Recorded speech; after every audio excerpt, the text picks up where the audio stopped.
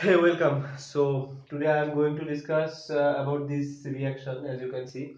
So this is basically a reaction of an uh, pyrrole with these two reagents, these two different conditions are given and this question is very favorite for exams like uh, JAM, GATE or NET. Okay, this question uh, several times they ask this question and uh, this question is also very important in terms of mechanistic point of view. And I would I, I will make my full effort to uh, mm, let you understand this concept. Now uh, let us first write what will be the product. So in this case we will get a product this. Okay. So the pyrrole nucleus is undergoing uh, conversion to pyridine nucleus. But in this case the product is not pyridine it is retaining its pyrrole structure but only this uh, extra group CH3COO2 this group is adding in this two position. Okay. But you will uh, be surprised by uh, watching that this both of these condition gives uh, carbene and the carbenes are uh, same in character also. Okay so what i am trying to say is that so let us first take condition a. Let's say this is condition a this is condition b. So if this is condition a so what we will get? So we have given ETOCO in in H okay. So when heat is given so what will happen? It will collapse like this. So you will get one molecule of nitrogen and this carbene. Okay. Now as you can see due, due to the presence of this electron withdrawing group this carbene is actually electrophilic carbene. Now what can happen if you react this carbene with this uh, with this pyrrole. Okay. So what will happen? This carbene will insert in this double bond to give you this compound. Okay. Right? So you will get this compound now for uh, keep this uh, molecule aside and let us uh, see what will happen in this case. So in this case you have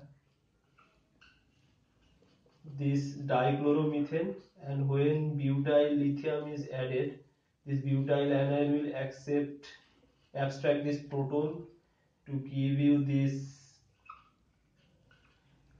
carbanion right? Now this chlorine can be expelled to give you this carbene okay? So you will get this carbene. Now when you add the pyrrole it will again insert in this double bond okay so both of the carbenes are electrophilic uh, in this case due to the presence of this uh, chlorine minus I effect and both uh, up to this step both reactions are same. Now what is the difference? So why uh, they are giving different products? So I am erasing this part. So we have these two compounds in our hand. One is this. Okay. One is this and another one is this. Okay. Now let us uh, think what can happen after this. So there is a lone pair here. Now it can push this lone pair and this bond will go here now two possibilities are there. Either this bond can break because it is attacking here so this center it is attacking this center. This particular center it is attacking. Okay so either this bond can break or this bond can break. So out of these two conditions what we are getting? So in green pathway we will get this one. And in a red pathway we will get this one. So one two okay. So this. So what is happening in the red pathway when uh, this bond is breaking this chlorine will be eliminated. This Cl minus will be eliminated and we will get this. After that we will get this neutral pyridine. Okay? So this is our pyridine product. Now uh, think about yourself. What uh, if, if you consider these two cases so in this case in the red pathway it is giving a more stable product. Like this is a pyridine nucleus just protonated at nitrogen. But in this case this product if you compare these two outcome this is much much less stable than this. Because here it is a negative charge although it is stabilized by the minus i effect of this uh, hmm, uh, chlorine but this pathway is much more faster. Because it is giving the elimination product the chlorine will be eliminated to give this. Now let us think about this one. So in this in this case also there are two possibilities. Either the this bond can break or this bond can break. Okay? Now let us first take uh, the red pathway. So what happens if red occurs? So you will be getting like this okay so ANH this plus, uh, plus and now this. And uh, you are getting you are getting here. Uh, okay so red pathway is like uh, mm, here you are getting CO uh, CO OET and here you have a negative charge right? Okay? So uh, actually this this bond is for so I did a mistake sorry. Uh, this bond one two three four five six. So one two three four five six. Okay. Now bond is formed between this one and uh, this one. Right so you are getting this right? Now uh, okay so this is the product. Now uh, what is the product of the uh, uh green pathway? So if you follow the green pathway you will get like this. NH plus okay? And now you have so so uh, look carefully that if you push this lone pair here then this double bond will go here.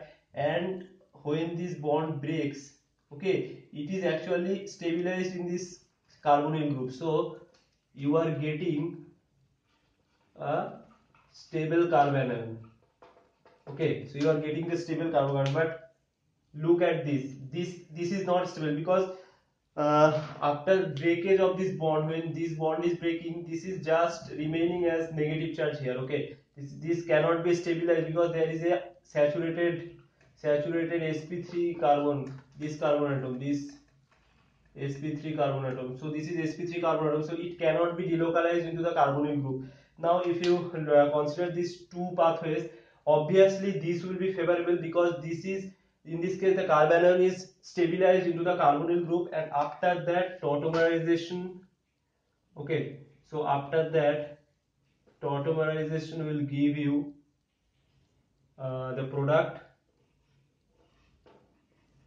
in H CO CO2ET okay so so here tautomerization will so there is a proton. So it can take here and this is the mechanism. Okay. So in this way you will get this product and in this case you will get this product. So this will not occur and this will also not occur. So presence of these two groups. So in this case presence of this Cl group and in this case the presence of this uh, ester group they determine what will be the outcome of the product. So in this case the elimination is favorable that is why elimination is occurring and in this case this particular CC bond breaking is favorable there is no group that can be eliminated. So this is not occurring and you are getting this product.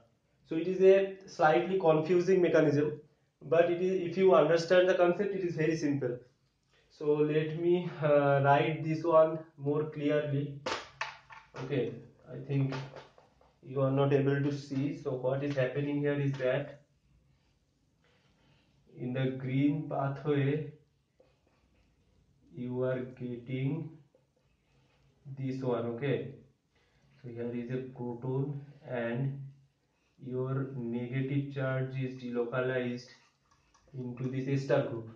Now this can come back this enolate it can take this proton. This bond goes here and you get your desired product. Okay so what will be your product? So your product will be retention of the pyrrole nucleus. Okay so this is the mechanism. And hope this video you like. And also the JAM exam is uh, next Sunday so uh, all the best for you. And thank you for watching my video. Please subscribe my channel